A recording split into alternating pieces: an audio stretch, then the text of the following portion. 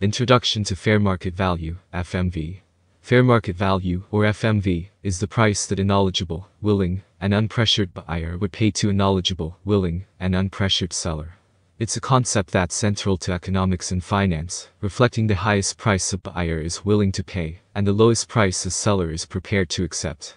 FMV is influenced by factors such as the asset's condition, age, market conditions, and earning potential. FMV in economics and finance. FMV is pivotal in various financial transactions, including real estate, mergers, taxation, and insurance. It helps determine asset selling prices and assesses value for tax purposes. In finance, FMV affects a company's financial standing and creditworthiness, and guides investors in evaluating the profitability of investments. Mass psychology and contrarian thinking in FMV. Investor sentiment, driven by news and economic indicators, significantly impacts FMV. Public opinion can drive prices up or down, affecting FMV accordingly.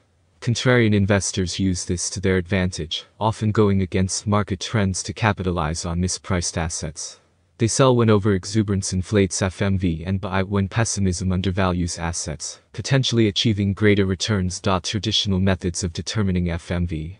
Traditional FMV determination methods include comparative, cost, and income approaches.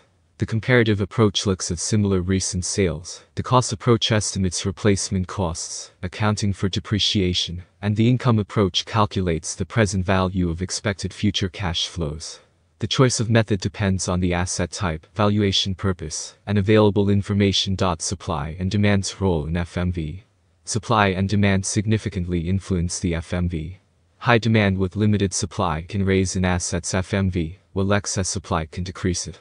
Investors' perceptions of an asset's future value also affect its current FMV, with willingness to pay a premium for expected value increases, or reluctance to invest in anticipation of a decline. Balancing mass psychology and contrarian thinking.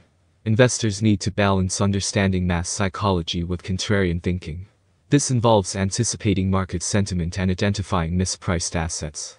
While mass psychology provides insights into current sentiment, contrarian thinking identifies profit opportunities.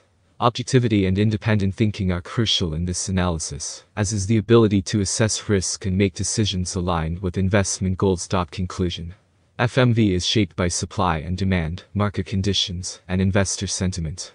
Understanding FMV, mass psychology, and contrarian thinking is essential for sound financial decision making.